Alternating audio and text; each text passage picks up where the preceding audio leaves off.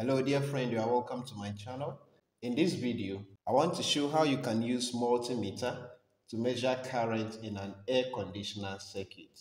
This video is purposely made to help in situations where you want to know the amount of current that is consumed by your air conditioner, but you don't have a clamp-on ammeter. All you have is a multimeter. Alright, so first of all, before we start anything at all, this circuit is live and the voltage that is passing through this switch to the air conditioner is 230 volts and that is dangerous. And so we don't want to play around it carelessly.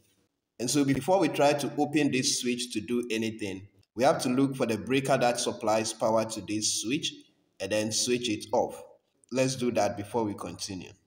Alright, so here now the supply is off and so we are sure that we don't have any issue with electricity in this switch. Okay so now we can move on. The next thing we need to do is to open this switch.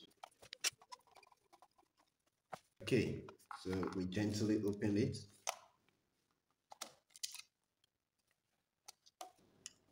Okay. And this is how the inside looks Please, if you want to understand how to wire the air conditioner switch, I already made a video on that. And so I have shared the link to that video. Please kindly watch to know how to wire the AC switch. Alright, now that we have access to the inside of the AC switch, at this point, what we need to do is to bridge the input and output neutral connections. So we get a piece of wire to bridge the input and then the output neutral connections. Okay, so let me open it here. Okay.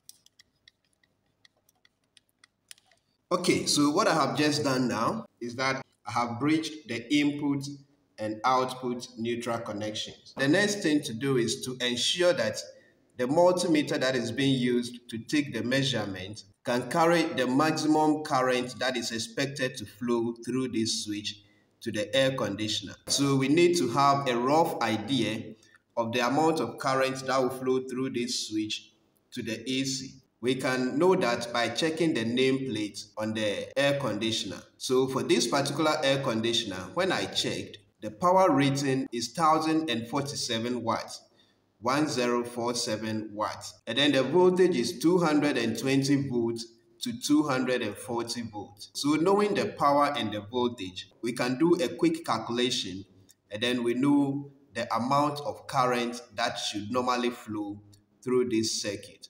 The voltage stated on the nameplate is 220 volts to 240 volts. And so to have an idea of the current we should be expecting here when the AC starts working, we need to divide 1047 by 240 volts.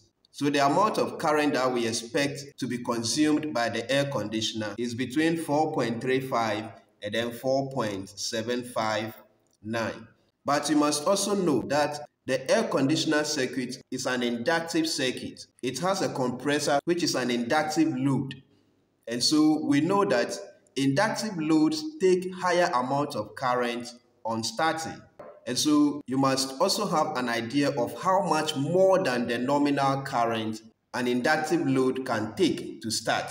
Alright, so the calculations we have done, the range of current between 4.36 and then 4.759, that is the amount of current that will flow through the switch to the air conditioner when the air conditioner is running. But the air conditioner actually needs more than that amount of current on starting. All right, so here to be on the safer side, we are going to multiply 4.759 by 3. So 4.759 by 3 will give us 14.277 amps. So on starting, we have this rough idea that the air conditioner can draw up to 14.277 amps. All right, so you need all this information to be able to know if your multimeter can actually measure that amount of current. Every multimeter has an amount of maximum current that it can measure. And so you should make sure that the current that you expect to flow through your circuit is an amount of current that is lower than the maximum amount of current that your meter can measure. As you can see, this multimeter can measure up to a maximum of 20 amps. So we have to ensure that the amount of current that will flow through this switch on starting and running will not be more than 20 amps. And that is why we needed to do the rough calculations to be sure that our multimeter will be safe to measure that amount of current. Okay. All right, so the next thing we need to do is to properly set up the multimeter for the measurement. We are measuring AC current, so we have to set the meter to this column.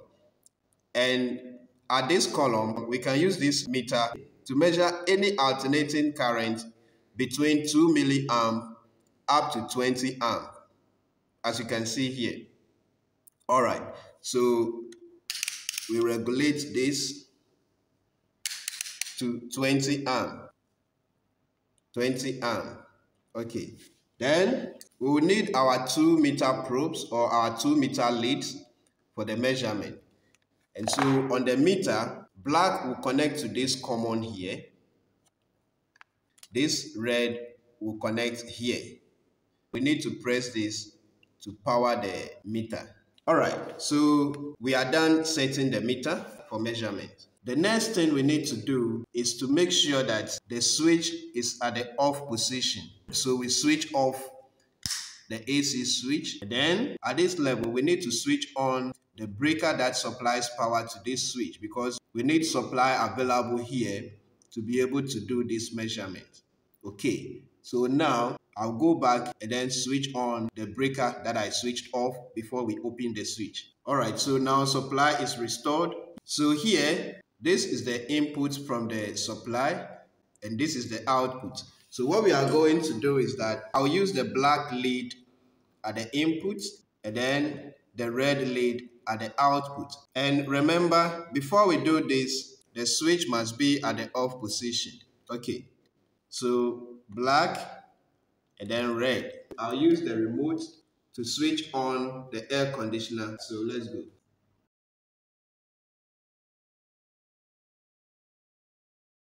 Alright, so friends, this is how to use the multimeter to measure current that is consumed by an air conditioner. And please, if you have learned something new from watching this video, kindly do well to share it with your friends, hit on the like button, and leave your comments at the comment section. And I have to reiterate that when doing this type of test, you have to be very careful because the voltage here is substantially high and can cause harm if you don't handle it properly.